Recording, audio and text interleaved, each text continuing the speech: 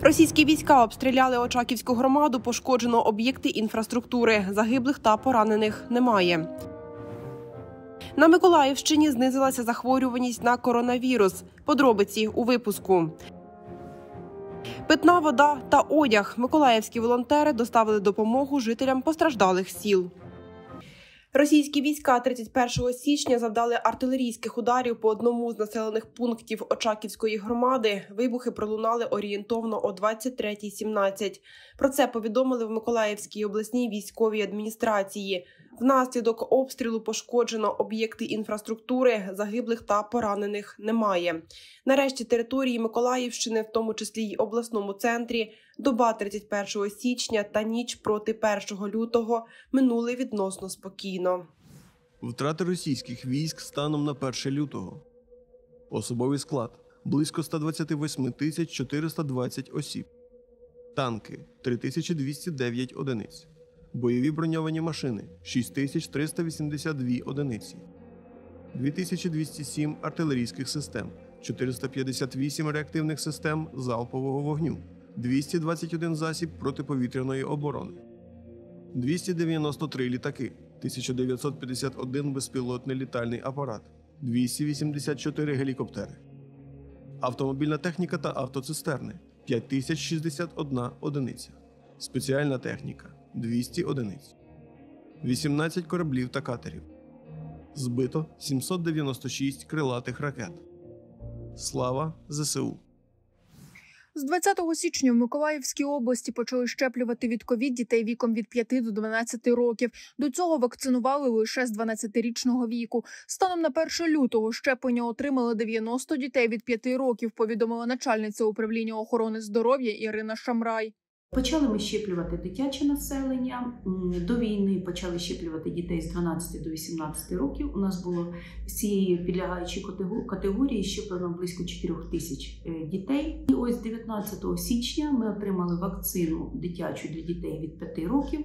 На сьогоднішній ранок щеплено 90 дітей від 5 до 11 років. Вакцинація продовжується. Батьки охоче е, йдуть на вакцинацію. Щеплення дітям проводять вакциною Pfizer. Для них необхідна менша доза препарату, а саме один флакон розводиться на 10 людей. Щеплюються по 0,2 мл, розповідає сімейна лікарка Леся Мазепа. 20-23 числа ми отримали вакцину. Це також Pfizer вакцина. Е, І з 23 числа почалася вакцинація дітей віком від 5 років до е, 12. Прививаємо і вакцинуємо дітей тих, у яких є хронічні захворювання. Більш за все, ми в першу чергу їх стараємося щеплювати. Два щеплення отримали понад 220 тисяч миколаївців. Після проведення масової імунізації кількість хворих значно зменшилась, говорить Ірина Шамрай. За минулий тиждень зареєстровано 109 випадків. На е, понеділок е, ми реєструємо захворюваність один раз на тиждень. На понеділок цього тижня зареєстровано 90 випадків, тобто на 19 випадків менше. В стаціонарах на ранок знаходиться 17 пацієнтів з тяжким перебігом ковід, з них одна дитина, яка знаходиться в другій дитячій міській лікарні. В середньому за день до сімейної амбулаторії на вакцинацію приходить близько 50 людей, серед них до 10 дітей.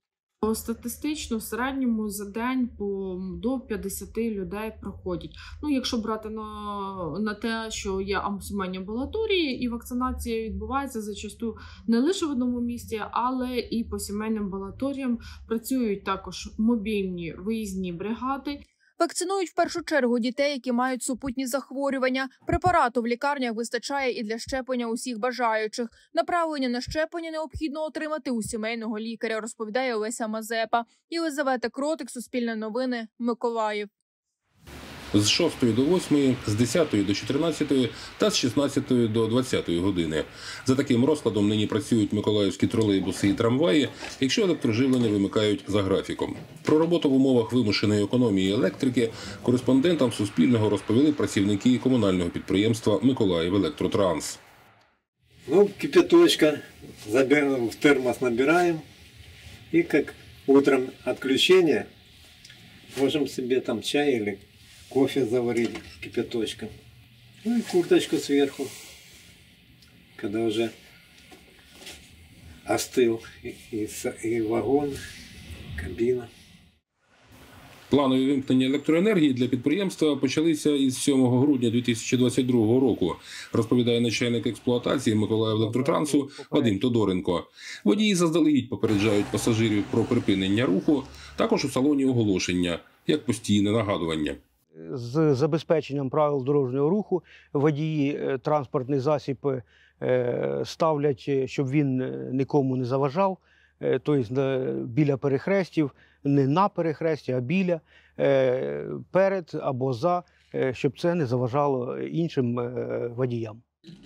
Графік руху трамваїв і тролейбусів визначений спільно з міською владою та Миколаївобленерго, говорить директор Миколаївелектротрансу Юрій Сметана.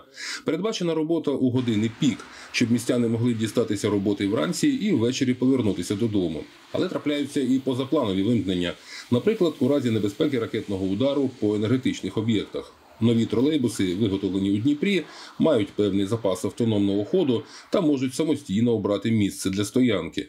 Трошки важче по е, трамваям, тому що в них немає такої функції, як аварійний автономний хід.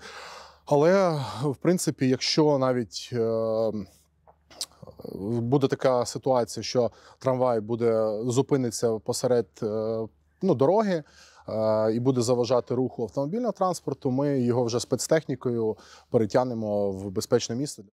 Це в нас були, був випадок, коли ми збирали наш транспорт по місту тракторами, стягували в парк. Це були перші е, відключення, коли ну, була область е, майже вся знеструмлена. Під графік вимкнення електрики підлаштували і режим розвезення питної води, що здійснюють трамваями і тролейбусами. Вони відправляються на точки у робочі проміжки та продовжують роздачу води містянам після знеструмлення. Все. Поехали.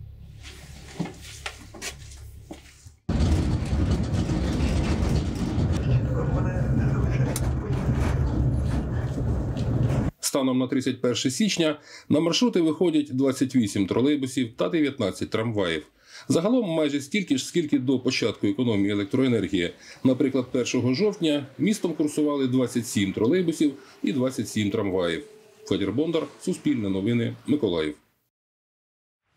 З 23 березня 2022 року в евакуаційному центрі проживає переселенка з Олександрівки Миколаївської області Людмила. Жінка змушена була виїхати через постійні обстріли російських військ. Зараз додому повернутися не може, тому що її будинок згорів від вибухів російських снарядів. Ми тиждень сиділи в підвалах, нас десь числа 17 березня вже не було світла, газу. О, вже почали прильоти до нас будь село. Да. Я проживаю в село Олександрівка, тут біля Лиманів, Лупарів. І ми пробули там сім днів, а потім вечором сиділа з сусідами у погрібі. У них там чоловік, жінка і четверо діток, жінка беременна п'ятим. І це ми просиділи, і е, ночі там таке було 23 березня, що не видержали. Всю ніч сиділи, уші закривали, і, і, рот був відкритий, щоб не бомбануло, бо сильно таки було да, гучно.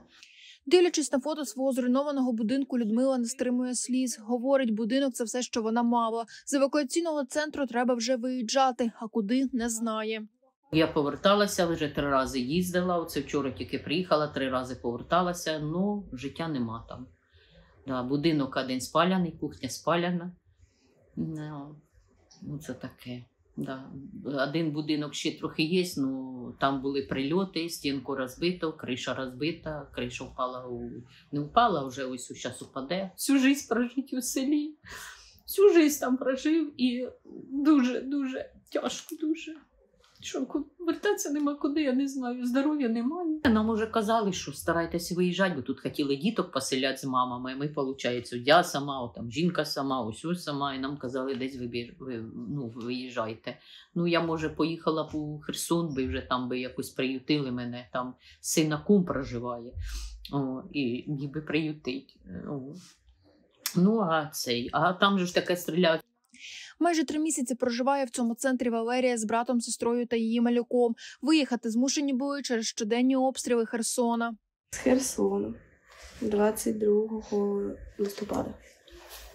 Виїхали сюди, бо почали стріляти в моє село. Ситуація дуже погана. обстріли. Завжди. Окупанти. Три місяці з сестрою чи братом.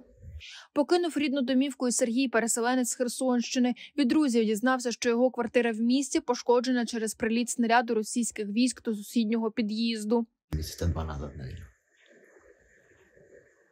Тяжко там зараз стріляють. Приходиться покуда і що тут бути. Зараз он созванювалися там з друзями, товаришами, вже в наш будинок попало. Ну, наш під'їзд не попало, але рядом під'їзди вікна повилітали, все повилітало. Так що тяжко покуда. Переждемо чуть-чуть, може, що наладиться. Додому сильно хочеться. Під час окупації міста армія Російської Федерації поводила себе агресивно, говорить чоловік. Люди були налякані, не виходили з квартир. Окупанти виламували двері та влаштовували обшуки. До сусідів приходили. Приїжджали, шукали. Ну, я не знаю, є ж, мабуть, інформація є. Тут льотчик. Думали, воєнний, на кукурудзники літав, поля прискав. Ну, приїжджали. Ну, звісно, я так бачив їх, що це саме, ну. Страшновато, звісно. Ну, а так теж по розказам теж багато творили біди, і двері ламали, і все, і в хати заладили. Ну, дай Бог наладиться, то вернемося. Я хоч сьогодні поїхав, би воно все було, щоб стріляти перестали та не розрушали, бо жалко. Єлизавета Кротик, Суспільне новини, Миколаїв. Сергій волонтерить вже майже рік. Каже, з перших днів повномасштабної війни разом з товаришами почали допомагати військовим. Зокрема, розробляли перископи і хвостовики для дронів. З часом почали піклуватися і про цивільних. Чоловік говорить, їздити з гуманітарною місією щопонеділка до сіл, які постраждали внаслідок війни, вже стало традицією. Мы первый раз поехали в Херсон. И на обратном пути заехали в Посад Покровская. Там только начали возвращаться люди. Там есть Руслан, мы с ним познакомились. Он нам показал все. Они сказали, что у них нету воды и одежды, так как были мародеры, и им нечем стирать, как переодеваться.